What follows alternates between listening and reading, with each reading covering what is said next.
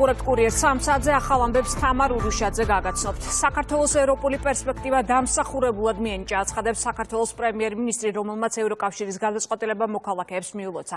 მან კიდევ ერთხელ განაცხადა, რომ ეს იყო ისტორიული დღე და ისტორიული გადაწყვეტილება, როდესაც ევროპამ კარი გაუღო ჩვენს ქვეყანას. პრემიერი მოუწოდებს ოპოზიციას დააყენოს ხალხის ინტერესები ყველაზე მაღლა და მხარეებმა ერთად შეასრულონ პირობა პოლარიზაციის დასრულების შესახებ.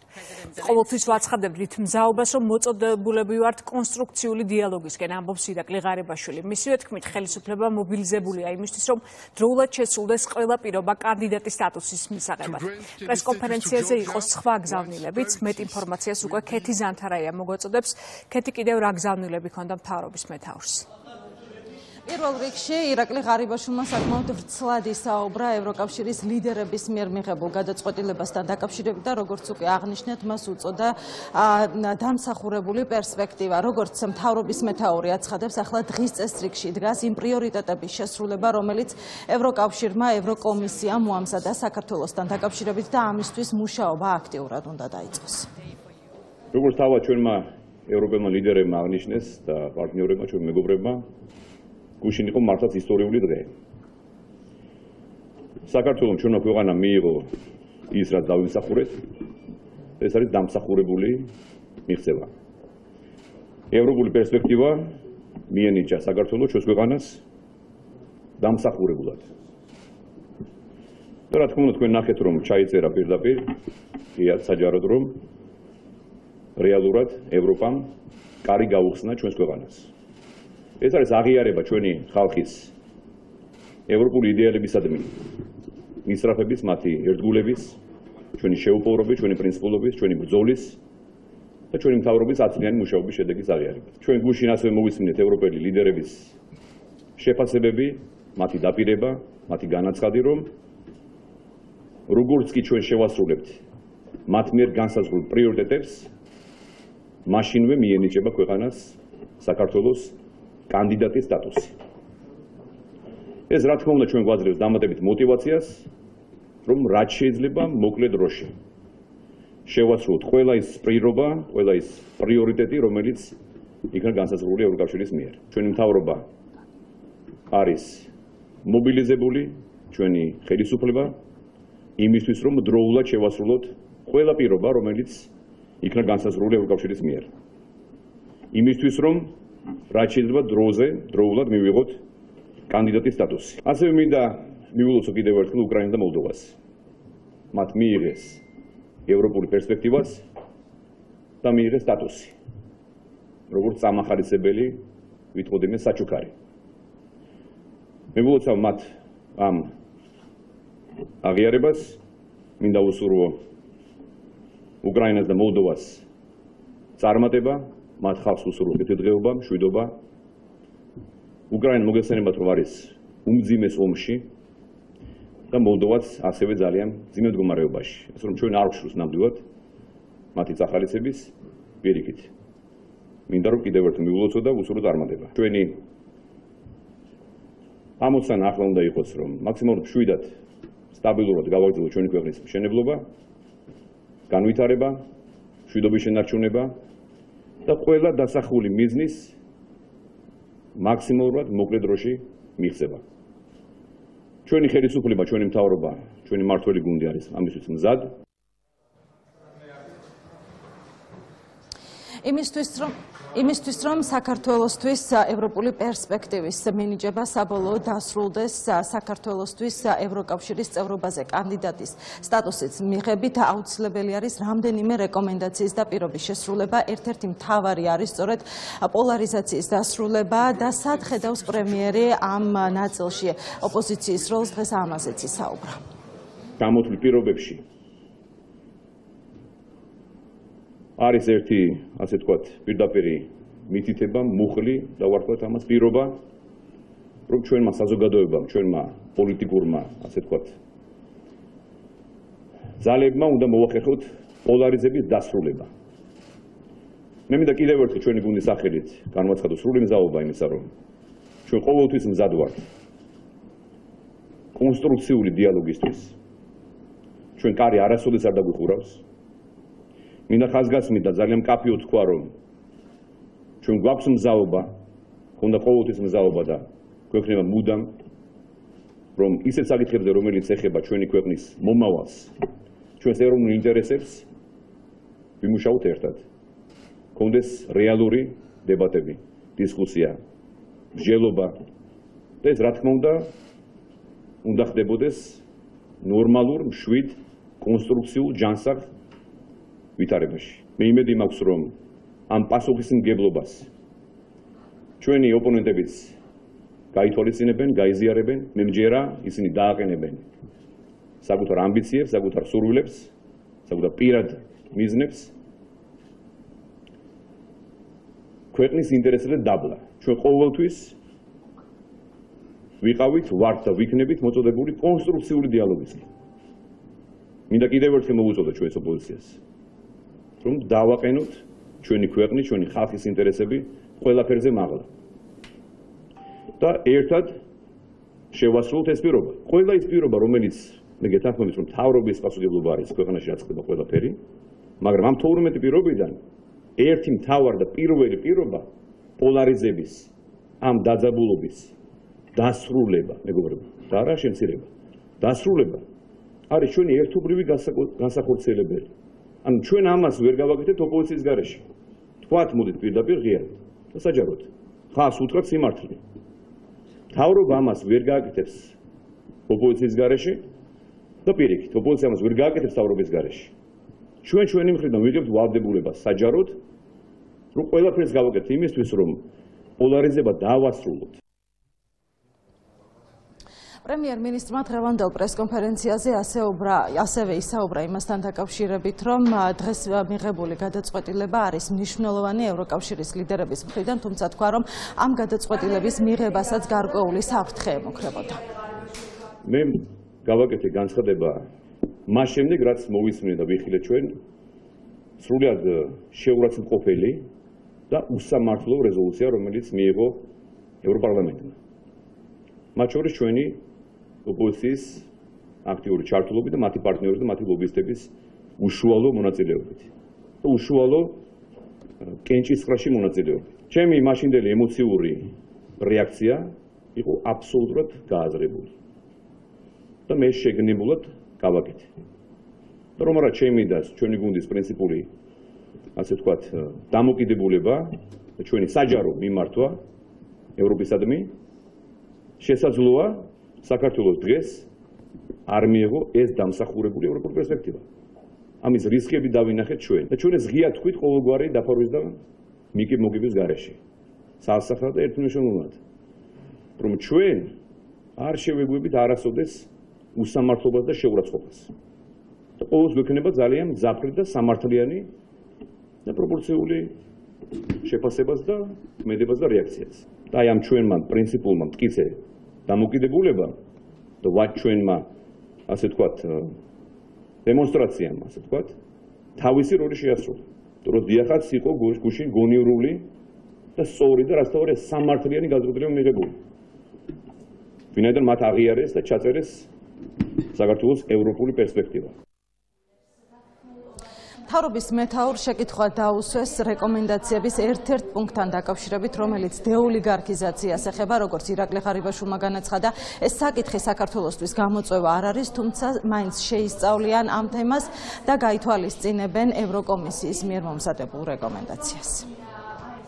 ჩვენ რა თქმა უნდა გვექნება კონსტიტუციები ბრიუსელთან, უფრო მეტი კონკრეტიკის და განმარტების მისაღებად თუ რა მოუდინები არსებობს თუ როგორ უნდა განვახორციელოთ აღნიშნული კანონის მიღება? ჩვენ გვითხრეს რომ უკრაინას აქვს ანალოგიური კანონი მიღებული თუმცა აქვე აღინიშნა რომ არ არის სრულყოფილი და შემდეგ. ჩვენ ამ თემას რა თქმა უნდა ჩაუღრმავდებით მოგესალმებით რომ აღნიშნული პირობა სამივე ქვეყანას განესაზღვრა.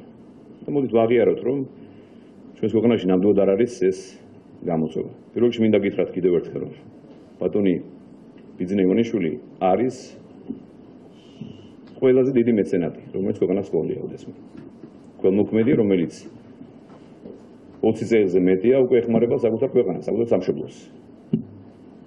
მან უსუქვეყნებში მიღებული შემოსავალი ის იმდრე, რომელიც მან დააგროვა, ქვეყანას, ასე თქვათ, მიუძღვნა და თქვენ არაერთი პროექტის მასშტაბური ასობით ასეულობით პროექტის მომსწრენი ხართ. თქვენ კარგად მოგესწრებათ, რომ მას თქვენ მოქმედ ვარ დაუწყენ მხოლოდ ჩვენს პერიოდში, არამედ მანამდე გაცილებით ადრე დაიწყო ჯერგილ შევონაძის დროს, შემდეგ შემდეგ სააკაშვილის დროს და ახლა უკვე მე ვიტყოდეთ თავარ ხელმოქმედება, რომელიც მაგ განახორციელა, იყო ის, რომ ქვეყანას რეალურად ანტიევროპული ძალა მოაშორა და დიქტატორული ძალა დაასრულა ქვეყანაში. მედიის თავისუფლება, ბიზნესის ხელშეუხებლობა, ბიზნესის თავისუფლება, სასამართლოს რეფორმა და უამრავი სხვა რომელიც შედეგიც არის ის რაც დღეს მივიღეთ მაგალითად და არ დავჭით იქ სადაც ვიყავით 22 წელს ანუ იმ გაუგებარ დიქტატურაში და ავტორიტარულ რეჟიმში.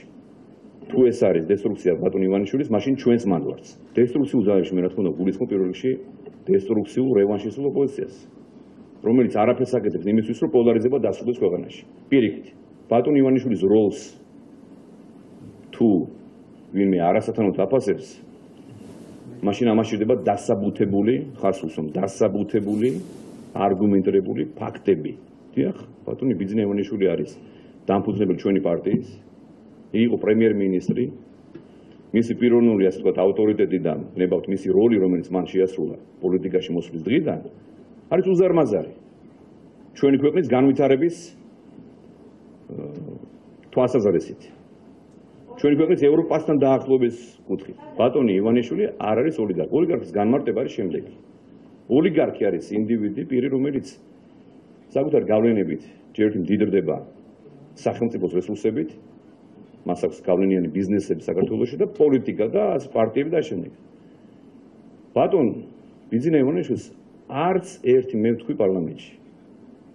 არავითარი შემოსავალი არ მიუღია საქართველოსთან. პირიქით კაცმა თუ რამე იშოვა, ჩამოიტანა დახარჯა საქართველოსში. ანუ იგი არის მეცენატი, ქველმოქმედი. შემდეგ არის პოლიტიკური პარტიის დამფუძნებელი. ბიძინა ივანიშვილის დღეს არავითარი როლი, სტატუსი პოლიტიკაში არ გააჩნია, მეგობრებო. ასე რომ სხვა ყველანაირი სპეკულაციები გარკვეული ბრალდებები ცილისამები არის უსაფუძვლო ოლიგარქობის ცდუნებები ცდუნებები შესაძლოა სხვა ინდივიდებს ქონოდა და ქონდეთ დღესაც ჩვენ ამას შევისწავლით გავითვალისწინეთ ევროპელების რეკომენდაციებს ახლა საქართველოს 6 თვე და 12 რეკომენდაცია აქვს შესასრულებელი იმისთვის რომ ევროპული პერსპექტივის შემდეგ ქვეყანა უკვე ევროკავშირის წევრობაზე კანდიდატის სტატუსზე მიიღოს. მადლობა ეს იყო ქეთი ზანთარაია. და როგორ შეაფასეს პრემიერის განცხადებები ქართულ პოლიტიკურ სპექტრში უმრავლესობისა და ოპოზიციის განცხადებები ცალომე უერთაშვილი ჩაგორთება გისმეც სალო დიახ, პრემიერის განცხადებას უკვე მოხდა გამოხმაურებები ოპოზიციის წარმომადგენლების მხრიდან, ასევე ქართული ოცნებიდან. ოპოზიციის წარმომადგენლები კონკრეტულად საუბრობენ დეპოლარიზაციის მიმართულებით და ამბობენ, რომ ამ კუთხით უფრო კონკრეტულ ნაბიჯებს ელოდებიან სწორედ პრემიერ-მინისტრისგან და ხელისუფლებისგან. გარდა ამისა აღნიშნეს მათ, რომ დღეს პრემიერ-მინისტრის მხრიდან არაერთი სიმართლესთან შეუსაბამო ინფორმაცია მოისმინეს. გარდა ამისა, დღეს ოპოზიციის წარმომადგენლები აფასებენ ევროკავშირის გადაწყვეტილებასაც, ამბობენ, რომ ეს არის ხელიდან გაშვებული შანსი და ამაზე სრული პასუხისმგებლობა ხელისუფლებას ეკისრება. დავსვამდი შეკითხვას თავად ღარიბაშვილი რამდენად მზად არის იმ კოჰაბიტაციისთვის, რომელსაც თვითონ ლანძღავდა და დღეს მან შემოგთავაზა. ამიტომ მან უნდა გადადგეს ნაბიჯები, მისაც რომ გვაჩვენოს რეალური მზაობა რესურსი 12 პუნქტის შესრულება. დღეს ერთადერთი, რასაც საზოგადოება ელოდებოდა ღარიბაშვილისგან, ეს არის გადადგომის შესახებ განცხადება, იმიტომ რომ შესაძაც ქვეყანა განიცდის აი ესეთ ისტორიულ მარცხს, როგორც ჩვენ გუშინ მივიღეთ და დავკარგეთ ისტორიული შესაძლებლობა ღარიბაშვილის და ივანიშვილის დამსახურებით, ერთადერთი სწორი პასუხი ეს არის განცხადების დაწერა და წასვლა. დღეს ღარიბაშვილის ამოცანა არის ის, რომ საქართველოს ძალიან სამართლიანად გაბრაზებულმა მოქალაქეებმა კიდევ ერთხელ საკუთარი სათქმელი არ თქვან დღეს თბილისის ქუჩებში. ამიტომ მინდა რომ მოვუწოდო პირველ რიგში ყველას არ დაგაბნიოთ რუსული მეთოდებით ხელისუფლების აი ამ სტრატეგიამ, PR სტრატეგიამ, ოდესაც დღეს თქვენ უსინდისოდ გაწუებენ, იმიტომ რომ დარჩეთ სახლში. არ უნდა დარჩეთ დღეს სახლში, დღეს უნდა გამოხვიდეთ. ეროვნულ თვითშეგნებას უნდა უპასუხოთ და სწორედ ამიტომ უნდა გამოვიდეთ გარეთ. ქართული ოცნება და ოლიგარქული რეჟიმი ფიქრობს, რომ მოდის ზაფხული, მოდის ივლისი, რომ ხალხი წავა დასასვენებლად, რომ ეს მუხტი ჩაქრება, რომ ყველაფერს გააკეთებენ იმისთვის, რომ როგორმე გადააგორონ ეს თემა. ჩვენ გვიხმობს სამშობლო, ჩვენ გვიხმობს საქართველოს და არ უნდა მივცეთ შესაძლებლობა აგვაცდიდონ ამ გზას. დეკემბრამდე დრო კი არა გვაქვს. დრო გვაქვს დეკემბრამდე იმისთვის, რომ ყველა რეფორმა გავატაროთ. ანუ ეს ნიშნავს, რომ დღეიდან, ეხლა, ამ წუთიდან უნდა დავიწყოთ მუშაობა. ყველა იმ 12-ვე პუნქტის შესასრულებლად, რომელიც დაგვისახეს ჩვენმა ევროპელმა პარტნიორებმა და საქართველოს ღირსეულად ახალ წელს უნდა შეაბიჯოს ევროპაში კანდიდატის სტატუსით. ამის შესაძლებლობა გვაქვს ჩვენ და ეს აუცილებლად უნდა გამოვიყენოთ ყველამ ერთად. დეპოლარიზაციასთან დაკავშირებით მას მერე რაც პრემიერ-მინისტრმა ჩაატარა ბრიფინგი პარლამენტში ჩაინიშნა უკვე განცხადება და ამ მიმართულებით ისაუბრა უკვე პარლამენტის თავმჯდომარემ. გარდა ამისა, მან შეაფასა ევროკავშირის გადაწყვეტილება ასევე ქართულმა ოცნებამაც, სადაც ამბობენ, რომ ის რაც თქვა გუშინ ევროკავშირმა, ეს არის საქართველოსთვის ისტორიული. თავარი ეს არის, რა თქმა უნდა, რადიკალური დღის წესრიგის უარყოფა.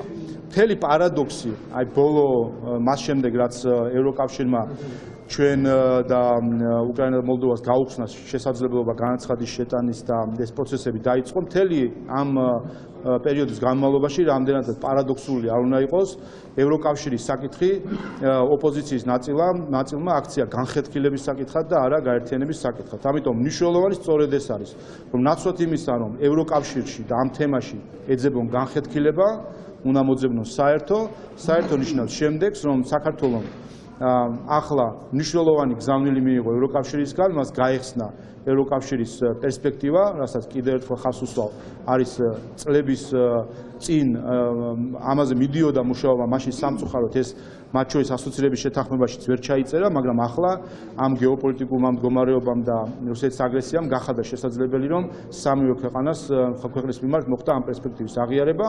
შემდეგი ნაბიჯები სწორედ ის არის, რომ იმ პრიორიტეტებიდან გამომდინარე, რაც არის განსაზღვრული ევროკომისიის მიმართ, მიერ ამ პრიორიტეტების მიმართულებით იმუშაოს პარლამენტმა გარკვეული ნაწილი აქ საქმის რა თქმა უნდა არის პარლამენტის მიერ. განსახორციელებელი ნაწილზე უკვე მიდის მუშაობა, იმიტომ რომ ჩვენ არაერთხელ ვთქვით რომ ეს არის ეს საკითხები უმეტესობა ამ საკითხებისა თუ არ ჩავთვლით დეპოლარიზაციის საკითხს არის ასოცირების დღის წესრიგის ნაწილი ეს არის განცხადებები, რომელიც საკანონმდებლო ორგანოში სულ რამდენიმე წუთის წინ გაკეთდა. მას მერე, რაც პრემიერ-მინისტრმა მთავრობის ადმინისტრაციაში სპეციალური ბრიფინგი ჩაატარა. მადლობა კურიერის ეთერში სალომე უერთაშვილი იყო. ევროპისტის კარგი დღეა ვულოცავ პრეზიდენტ ზელენსკის პრეზიდენტ სანდუს და პრემიერ-მინისტრ ღარიბაშვილს ამ შესახებ ტვიტერზე განცხადება ურსულა ფონ დერ ლაიენმა გავრცელა.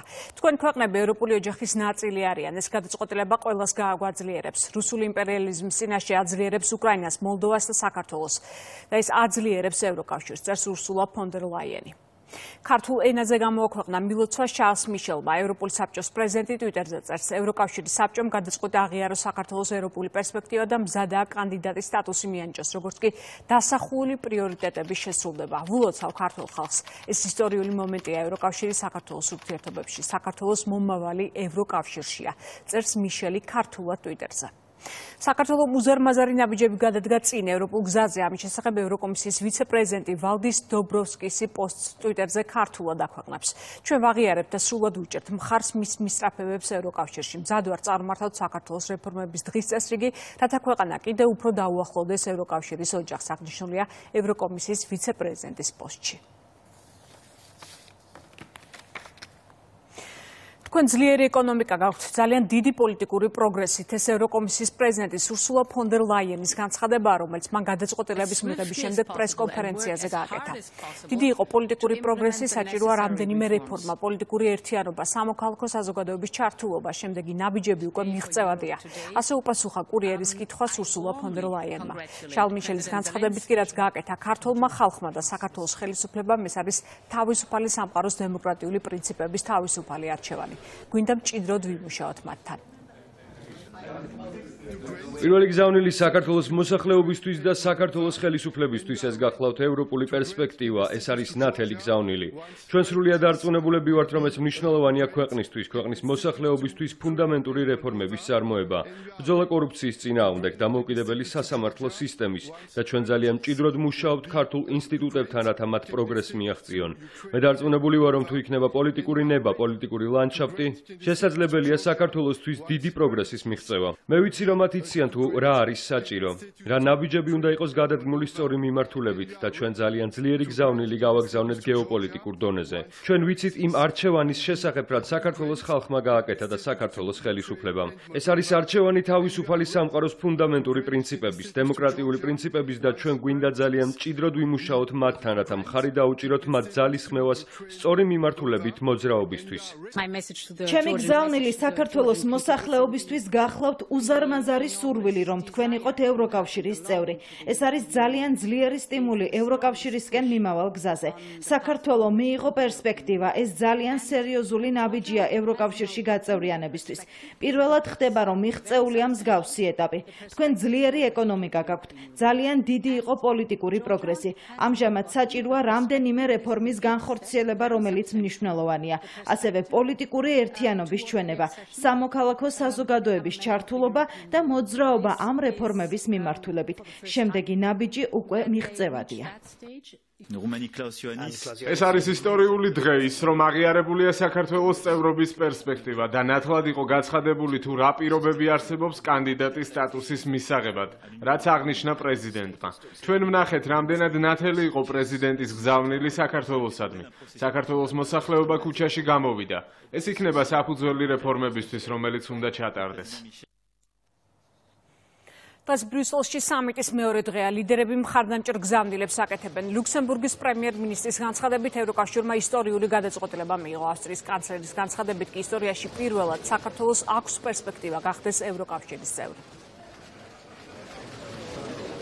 Yesterday historical one. გუშინ ისტორიული გადაწყვეტილება მივიღეთ. ჩვენ შევძელით კონსენსუსის გამონახვა და შეთანხმება. ჩვენ ყველა შევთანხმდით, რომ ვენდობით კომისიის შეფასებას. კომისიამ დაასკვნა, რომ კანდიდატის სტატუსი უნდა მიგვეცა უკრაინისა და მოლდოვისთვის. საქართველოსთვის კი დავალების შესრულების შემდეგ. მოხარული ვარ, რომ კომისიის ინსტრუქციებს მივყევით. აუცილებელია ყოველთვის დეტალებს გავყვეთ. ახლა პირველად ისტორიაში საქართველოს აქვს პერსპექტივა, რომ გახდეს ევროკავშირის წევრი, ეს კი ძალიან ბევრს ნიშნავს. ახლა ამ გზით არის საჭირო საქართველოს მხარი დაუჭიროთ იმისთვის, რომ პერსპექტივაზე მეტი მიიღოს. საქართველოსთვის პერსპექტივის მინიჭება არის კარგი გადაწყვეტილება. ეს საქართველოს მომავალს წაადგება. გუშინ ჩვენ შევძელით ძალიან დიდი და მნიშვნელოვანი გადაწყვეტილების მიღება. ჩვენ კომისიის შეფასებით ვიხელმძღვანელეთ. ეს მნიშვნელოვანია იმ კუთხით, რომ ისე დროს, როცა კრიზისია ევროკავშირში შევძელით საერთო პოზიციაზე შეჯერება და წინ წასვლა. საქართველოს მთავრობას აქვს ყველა შესაძლებლობა რომ განახორციელოს რეფორმები, რომლებიც კარგად არის ცნობილი. თავის დროზე, როცა ლატვიამ რეფორმები განახორციელა, ეს პირველ რიგში ძალიან მნიშვნელოვანი ჩვენთვის იყო. ჩვენი მმართველობა ამ გზით უფრო გაძლიერდა, გაუნჯობესდა ცხოვრების სტანდარტი. ევროპის მხრიდან კარი ღიაა და იმედი გვაქვს მთავრობა გადადგამს საჭირო ნაბიჯებს. ევროპული საბჭოს მიერ მიღებული გადაწყვეტილების შემდეგ 27 ქვეყნის ლიდერს სიტყვით საქართველოს პრეზიდენტმაც მიმართა. უპირველეს ყოვლისა, მინდა ქართული ხალხის სახელით გადმოგცეთ, რომ რაც დღეს მოხდა, შესაძლოა არის გარკვეული იმედგაცრუება, რომ ტრიოს სამეულში არ ვართ, მაგრამ ვფიქრობ, ვაანალიზებთ იმას, რომ დღეს მოხდა ის, რასაც საქართველოს მრავალი წელი ელოდა დამოუკიდებლობიდან 1991 წლიდან უცილებლად, თუმცა შესაძლოა უფრო ადრე სხვა რეფორმებით, რაც ევროპულ ოჯახში გაწევრიანება და ამ ევროპული პერსპექტივის დაშვება.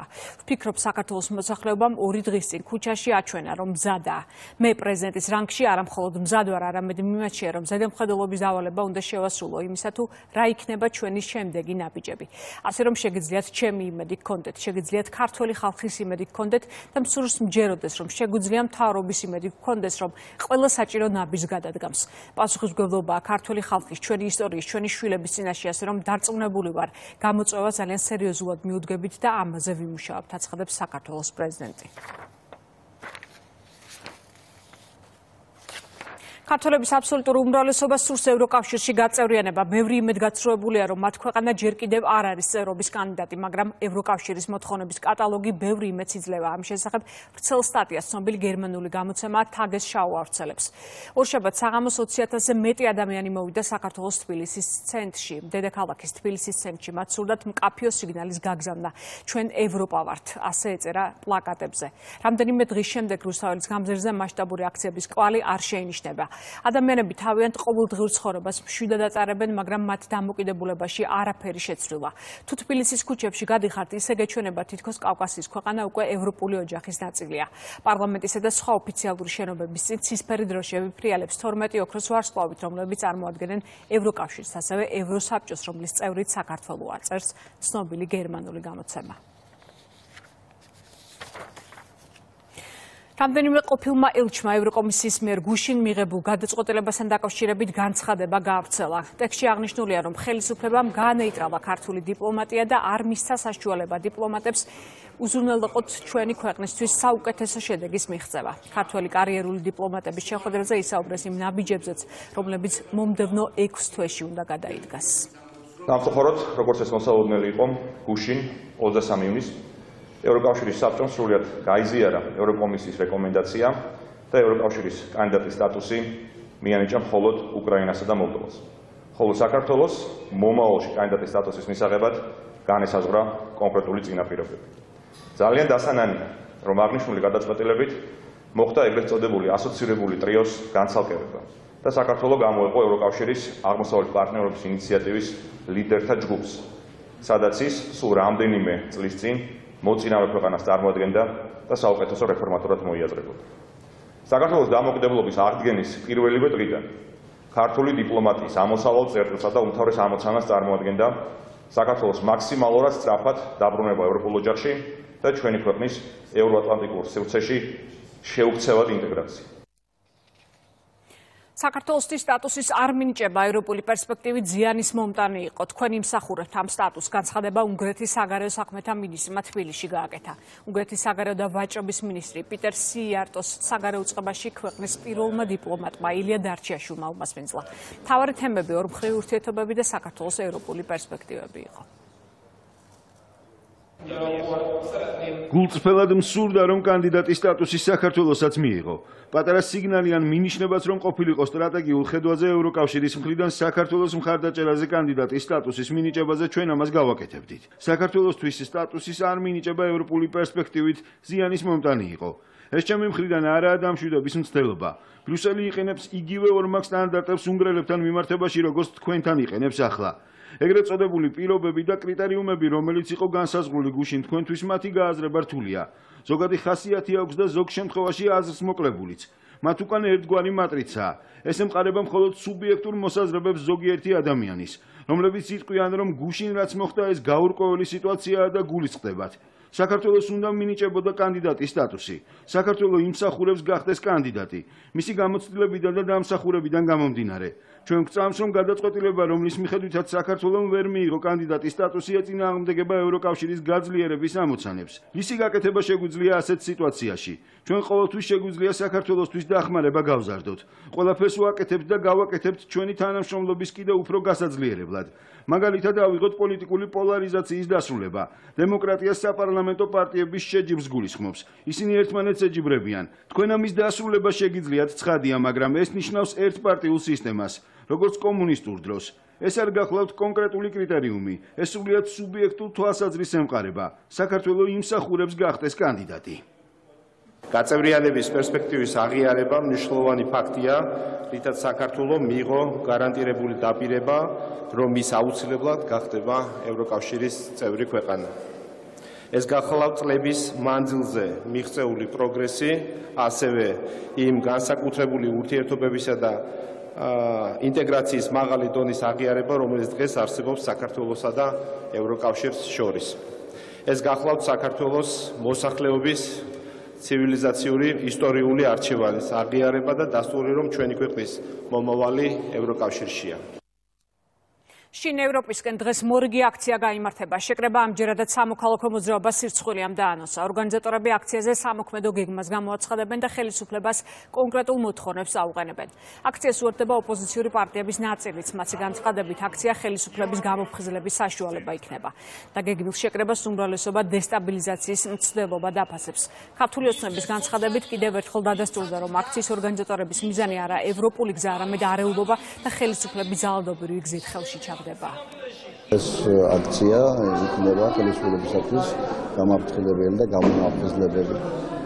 და ამავე დროს იქნება შემცველი იმ შინაარსისა, რომ დაუყოვნებლივ უნდა დაიწყოს რეკომენდაციების შესრულება. ამ ზაფხულსავე უნდა გააგრძელოს პარლამენტმა მუშაობა რიგარის შესრულებები დაინიშნოს. ყველა ვიცით ვის დამსახურებით ხდება ის რომ საქართველოს არ მიიღო კანდიდატის სტატუსი და ეს აქცია არის ორგანიზებული არა პოლიტიკოსების, არამედ სამოქალაქო საზოგადოების მხრიდან. შესაბამისად მე როგორც ერთი მოქალაქე და ერთ დეპუტატი აუცილებლად ვიქნები ამ აქციის მონაწილე და მე ვიცი სამოქალაქო საზოგადოება იქნება წამყვანი ამ პროცესების არ გამოვა საუბარი იმაზე რომ ერთი მხრივ ვითანამშრომლოთ მათთან, მეორე მხრივ ისინი გვიწყობდნენ ჩვენ რევოლუციური სცენარებს და საუბრობდნენ ჩვენს დამთავრებაზე. არავინ არ მისცა მათ იმის უფლება, რომ ამ ტონალობით ესაუბრონ ან ჩვენს ამორჩევას, ან გვესაუბრონ ჩვენ. ამიტომ შვიდობიანი შეკრება სულ შეიკრიბონ სულ კრიტიკის გამოთქვა, გამოთქვანეს. როგორც კი ეს ყველაფერი მიიღებს კანონთან შეუსაბამო ფორმას, იქ იქნება ადეკვატური და პროპორციული სამართლებრივი რეაგირება. ეს ყველაფერი ძალიან კარგად კიდევ ერთხელ ფარდას ხდის ნაციონალური მოძრაობას, სირცხვილიას და სხვა ასეთი დესტრუქციული ძალების რეალურ გეგმებს, რომ მათ არა ევროპული პერსპექტივა საქართველოსი და ევროპული გზა არა საქართველოს განვითარება და წინსვლა, არამედ მხოლოდ საკუთარი პარტიული ამბიციები და დესტრუქცია ინტერესებს და რეალურად სურთ რომ ქვეყანა კვლავ ქაოსში და ძალადობაში მოაქციონ. ბათუმის სახელმწიფო უნივერსიტეტის სტუდენტებმა აქცია გამართეს. შინ ევროპისკენ სტუდენტების განცხადებით საქართველოს ევროპული ოჯახის განუყოფელი ნაწილია და აქვს შანსი გახდეს ევროკავშირის წევრი, თუმცა აუცილებელია ყველა მოთხოვნა შესრულდეს. ამ პროცესში კი აუცილებელი კომპონენტი მათი თქმით ახალგაზრდების სტუდენტების ხმა აქციის მონაწილეებმა უნივერსიტეტიდან ევროპის მოედნამდე მსვლელობა მოაწყვეს. და ჩვენ აქ შევიკრიბეთ იმისთვის რომ კაფიოდ და ნათლად გამოვხატოთ ჩვენი სტუდენტების პოზიცია რომ ჩვენ გსურს ევროპული მომავალი. გუშინ საქართველოს უარი ეთქვა კანდიდატის სტატუსზე და მიეცა ევროპული პერსპექტივა. ამიტომ ეს გვაძლევს საბაბს რომ აუცილებლად გახდებით მომავალში ევროკავშირის წევრი. სტუდენტების ინიციატივით დაიგეგმა ეს ყველაფერი საკმაოდ დიდი ხნის წინ და ეს გაკეთა იმისთვის რომ დაგვეფიქსირებინა ევროკავშირისთვის ჩვენი აზრი და გამოგვეხატა ჩვენი მზაობა რომ გსურს ევროკავშირში გაერთიანება. დღეს ჩვენთან სტუდენტებმა გამოხატეს თავისი სიტყვით აზრი და დააფიქსეს თავისი ანტიღირებულებები თუ რაოდენ მნიშვნელოვანია მათთვის გაერთიანება სოფელ ხურვალეთში საოკუპაციო ხასთან კვლავ რუსი ოკუპანტების გააქტიურება შეენიშნება. ინფორმაციას ამ შესახებ ადგილობრივი სამოქალაქო აქტივისტი აღწერებს. უკანონო ბორდერიზაცია სოფელ ხურვალეთთან ოკუპირებულ ტერიტორიაზე ადასტურებს სახელმწიფო უსაფრთხოების სამსახურიც. მათი განცხადებით უკვე ამოქმედებულია ცხელი ხაზი და ინფორმირებულია ევროკავშირის სადამკვირვებლო მისია. დილიდან გამოჩდნენ ოკუპანტები, რამოდენიმე კაცი და აშენებენ რაღაცას. აქედან ცოტა ვერ ჩანს კარგად რას აშენებენ, მაგრამ ჯერ ხედავ რომ სეტკები აქვთ გაჭიმული, ქვები აქვთ გუშინ მოიტანეს. ჩამოვიდნენ უკვე მეტი რაღა უნდა ქნა, რა ხა. ა ეს ის მყოფს ასფალტი და შემოვა სახში. მეტი სადღა უნდა წავიდნენ. დილას დავინახეთ რომ გამოვიდნენ და რაღაცის მშენებლობა დაიწყეს. არ ვიცი რას აშენებენ. მე მგონი სათვალთვალო კოშკი იძახიან სათვალთვალო კოშკს აშენებენ რომ უყურონ და მთელი სოფელი გააკონტროლონ და ის საძურების და ის მთების.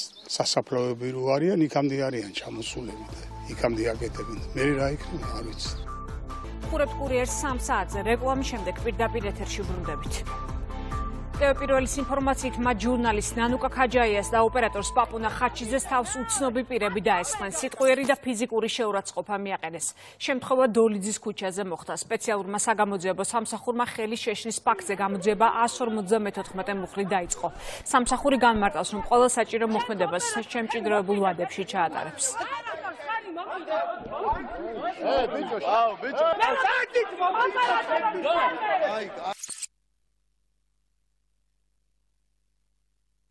და დაახლოებით ორის ნახევარი იყო. დოლიძის ქუჩაზე მივედი ჩემი რესპონდენტის ჩასაწერად პროფესიულ მოვალეობას ვასრულებდი.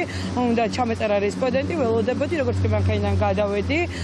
ორი ადამიანი დაგვესხათავს იქ რომ არ ყოფილიყვნენ ადამიანები რიგითი ადამიანები იქ მცხოვრებლები დასაქმებული ადამიანები არ ვიცი როგორ დამთავრდებოდა იცით იმიტომ რომ ისინი ჩაგვიდნენ უშუალოდ შუაში და ცდილობდნენ რომ გავეშვალებინეთ აბაშიძის ქუჩაზე ავტომობილი დაიწვა. გავრცელდა ინფორმაცია, რომ მანქანას ცეცხლი განზრახმა უკიდეს, თუმცა ამ ეტაპზე ფაქტი არ დასტურდება. ადგილზე სამართალდამცველები მუშაობენ, დაწყებულია გამოძიება. ჩიგნიდან სალონს წაეკიდა. სალონს წაეკიდა? იჯდა ეს მფლობელი? არა, არ იჯდა. არც ახლოს არ იყო. არავინ. აა გამროლებმა ჩააქრეს მერე. პატრონი მერე მოვიდა. სენაკში გაწმენდითი სამუშაოებში მოხალისეები ერთვებიან. ისინი წმენდნენ წყალდიდობის შედეგად დაზარალებული მოსახლეობის ეზოებს, სახლებს და ქუჩებს. დასუფთავების აქციაში ქართული ოცნების ახალგაზრდული ორგანიზაციის წევრები ჩაერთნენ. სენაკში პარალელურად მუნიციპალური სამსახურების მერს იქი სალიკვიდაციო და გაწმენდითი სამუშაოები მიმდინარეობს. ორი დღის წინ სენაკში ძლიერი წვიმის და წყალმოვარდნების შედეგად ქალაქის ცენტრალური ქუჩები დაიტბორა. წყალი შევიდა საცხოვრებელი სახლების პირველ სართულებზეც. გუშინად ფლიანად ქუჩა გაანთავისუფლეს ვებია ყველაფერი არაფერი არ იყო ქუჩაზე. ახლა რაც არის ისევე გადავარდა ხო ხედავთ რამდენი ხალხი მუშაობს შევა. უკვე ძალიან ბევრი მოხალისე გვერდება მთელი ქალაქის მასშტაბით, ასევე ზუგდიდიდან, სამტრედიიდან, ქუთაისიდან, ყველა ქალაქიდან მოდიან ბიჭები, ძალიან დიდი მადლობა მინდა მათ გადაუხადოთ. სტიქია დაგვაყრა თავს. გამოყოფილია სარადის განხილვის კომისია, ასევე გამოყოფილია მუშათა ჯგუფი, რომლებიც დადიან თითოეულ ოჯახში, თითოეულ ადმინისტრაციულ ერთეულში მიმდინარეობს სარადის დათვა და საბოლოო პასუხი იქნება უახლოეს დღეებში. დათვლილი ზარალი შესაბამისი ოქმებით, ფოტოსურათებით, ფოტომტკიცებულებით და მასალებით მიეწოდება უკვე ცენტრალურ ხელისუფლებას და შესაბამისად იქიდან ველოდებით უკვე დაფინანსება სამყაროს აღმოსაფხვრად. თბილისის ჯგუფმა დინარე ვერეს ხეობაში დასუფთავების ღონისძიება ჩაატარა. სამშენებლო და საყოფაცხოვრებო ნარჩენებისგან გაიწმინდა დინარის სანაპირო ზოლი და განწვანებული ფერდობები. სამშაო ორი დღის განმავლობაში გაგრძელდება და მასში დასუფთავების დეპარტამენტის 100-მდე თანამშრომელი მიიღებს მონაწილეობას. თვისერის ჯგუფი აგრძელებს დასუფთავების აქციას დედაქალაქის მასშტაბით. ეხლა ვიმყოფებით დინარე ვერეს ხეობაში, სადაც დილიდან მიმდინარეობს დასუფთავება, როგორც საყოფაცხოვრებო ისე სამშენებლო ნარჩენებისგან იწმინდება დინარე ვერეს ხეობა, ასევე მის მიმდებარედ გამწვანებული ზოლი, ფერდობი და სხვა ტერიტორიები. იუსტიციის მინისტრმა ევროკავშირის სამართლის იმიტირებული სასამართლო პროცესის გამარჯვებულები დააჯილდოვა. ყოველწლიური სტუდენტური კონკურსი ევროკავშირის სამართალში დასრულდა. მინისტრმა ახალგაზრდებს წარმატება მიულოცა და აღნიშნა, რომ ევროკავშირის მიმართ ინტერესი იზრდება. წელს კონკურსში 11 უმაღლესი სასწავლებლის 36 გუნდი, ჯამში კი 119 კონკურსანტი მონაწილეობდა.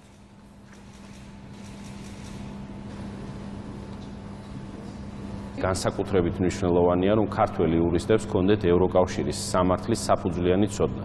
იუსტიციის სამინისტრო აღნიშნულის უზრუნველსაყოფად ხარს უჭერს ისეთ ღონისძიებებს, რომელთა მეშვეობითაც განსაკუთრებით ახალგაზრდა ქართველი იურისტებს ექნებათ იმის შესაძლებლობა, რომ მიიღონ მათთვის საჭირო ინფორმაცია ევროკავშირის სამართლებრივი ნორმების და ინსტიტუტების შესახებ. დღეს იუსტიციის სამინისტროში გამართა ევროკავშირის სამართლის იმიტირებული პროცესის გამარჯვებული გუნდების და დაჯილდოება.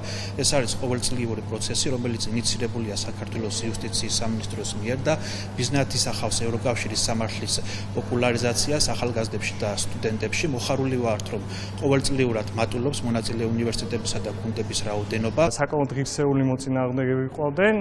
რთული იყო გამარჯვება, თუმცა საბედნიეროდ არ დავუკვირთ მე და ჩემო თანაგუნდებლებმა შრომა და დაგვიფასდა და გავიმარჯვეთ. მოუწოდებ ყველა სტუდენტს მიიღოს აღნიშნულ პროექტში მონაწილეობა. საქართველოსი საერთაშორისო ფონდი კეტარი იწყებს ოპერირებას. უკვე გამართა პირველი პრეზენტაცია. ცხონისებაზე კეტარის არომადგენლების გარდა პრეზენტაცია სპეციალურად მოწვეულმა სტუმარმა, სოფლიოში ნომერ 1-მა კულტურისა და ბრენდის ექსპერტმა გამართა. ისრაელში დაფუძნებული ორგანიზაციის მიზანი რეგიონში კრეატიული ინდუსტრიების არომადგენლებისთვის ფიზიკური ჰაბის შექმნა და მათი მხარდაჭერაა. 31 განვითარებთ რამდენიმე კონცეფციას, რომელიც ეხება რეალური და ვირტუალური სამყაროების განვითარებას და ამ სფეროებში მუშაობას. ყველაზე მნიშვნელოვანი იქნება ის, რომ ჩვენ შესაძლებლობას მივცემთ არამხოლოდ ქართველ კრეატიული ინდუსტრიის წარმომადგენლებს, არამედ საერთაშორისო სპეციალისტებსაც, რომ გაიცნონ ქვეყანა და შეძლონ აქ თანამშრომლობას. ეს არის мотиваცია ახალგაზრდებისთვის, სტარტაპერებისთვის იდეები აქვს რომ საერთოდ ხელოვნების ქალაქი გაიხსნა საქართველოში და მე როგორც თვითონ ავტორს და მუსიკოს, ჩემთვის ეს უდიდესი ბედნიერება და უფრო მეტად რა თქმა უნდა ახალგაზრდა თაობისთვის რომლებიც იწყებენ თავის შემოქმედებას. ჩვენ ადამიანები ძალიან დიდ დროს ვატარებთ ტელევიზორებთან და ტელეფონის ეკრანებთან. ამიტომ დავიწყებული გვაქვს და ნაკლებად გვაქვს შესაძლებლობა დავაკვირდეთ რეალურ ცხოვრებაში იმ მომენტებს, რაც ჩვენს კრეატიულობას ხელს შეუწყობს და განავითარებს. ჩვენი დღევანდელი ლექციაც სწორედ ამას ეხებოდა. მნიშვნელოვანია დავაკვირდეთ საკუთარ თავებს, იმისათვის რომ აღმოვაჩინოთ საკუთარი თავი განსხვავებული კუთხით. პირველად საქართველოს ისტორიაში სამების საკათედრო ტაძრის საპატრიარქო გუნდში ვატიკანში კონცერტს გამართავს. ქართველი მგალობლები სიქსტის კაპელასა და წმინდა პეტრეს ტაძარში იმღერებენ. ვატიკანის ელჩმა საქართველოსი კულტურის მინისტრს, საგარეო საქმეთა მინისტრის მოადგილეს კულტურის სამინისტროსა და საპატრიარქოს არომადგენლებს ვატიკანის საელჩოში უმასპინძლა. 26 ივნის სიქსტის კაპელაში, 29 ივნის წმინდა პეტრეს ტაძარში ვატიკანში ჩვენ გვექნება ისტორიული შესაძლებლობა, რომ ჩვენი სათაყვანებელი პატრიარქის მიერ სამების ტაძარში დაფუძნებული სამების საკათედრო გუნდმა იმღეროს და ქართული გალობა მშვიდობისათვის და იმ ძიმე დროს სოფლიოსათვის, როდესაც მიმდინარეობს ევროპაში ომი, ეს გალობა მესუდეს ყველა იმ ადამიანს, ვისაც ეს სჭირდება. ეს იქნება ქართული მართლმადიდებლობის სეიმი ქართული კულტურის ისტორიული მოვლენა. It is a very um uh, important occasion. ეს არის ძალიან მნიშვნელოვანი მოვლენა, რადგან მსგავსი რამ პირველად ხდება. აღნიშნული ვიზიტი არის 40 წლის წინ 1980 წელს სრულიად საქართველოს კათოლიკოს პატრიარქის უწმინდესი და უნეტარესი ილია მეორის ვატიკანში ვიზიტის გაგრძელება და ურთიერთობების წმინდა საყდარსა და საქართველოს შორის 2000 წლიანი ურთიერთობების აღნიშვნა. ილია მეორე ვატიკანში ვიზიტის შემდეგ იერუსალიმსაც ეწვია. ეს იქნება შემთხვევა, როდესაც გუნდს მოусმენს წმინდა საყდრის ყველა წარმომადგენელი და ათასობით ადამიანი, რომელიც მსოფლიოს ყველა კუთხიდან სტუმრობს ვატიკანს. ეს იყო ბოლო ინფორმაცია მე ამით გემშვიდობებით კურიერი კი პირდაპირ ეთერში 5 საათზე დაბრუნდება. დროებით.